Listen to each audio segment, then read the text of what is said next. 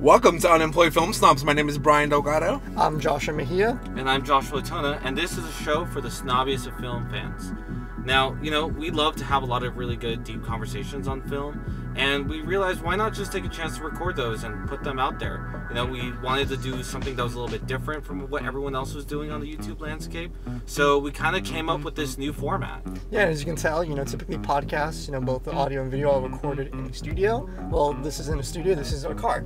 And that's how we're going to be doing our podcast and presenting it to you. Literally just driving around, recording conversations as you would with any, you know, family or friend that you, uh, you just take drives with. Yeah. So please uh, join us on our drive uh, with Unemployed Film Snobs, and please make sure to like, follow, and subscribe on our handles listed down below. Thank you, and we'll see you there.